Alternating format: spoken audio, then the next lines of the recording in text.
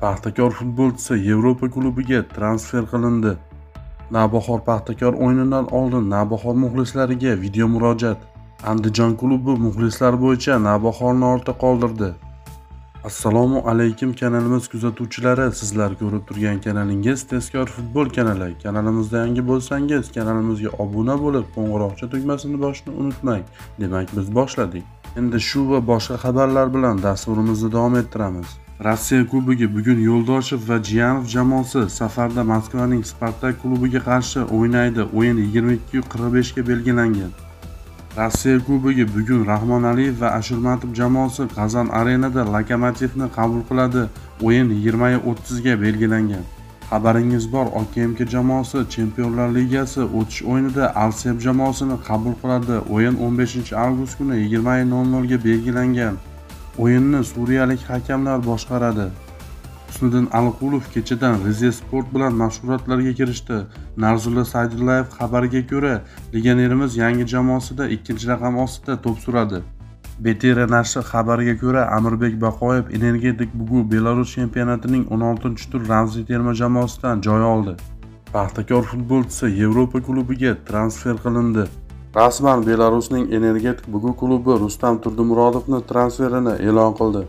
Superliga 15-tur muxlislar tashrifi eng ko'p tomoshabin Andijonda, eng kami esa Toshkentda.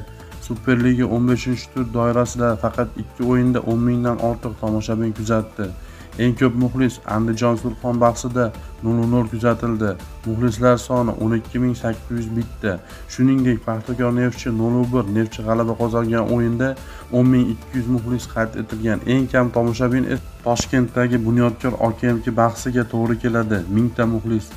Superliga turnir jadvali va 16-tur anonsi. Dinamoga mag'lub bo'lib kubok bahslaridan chiqib ketgan Paxtakor Neftchiga ham yutkazib, 3-o'ringa tushdi.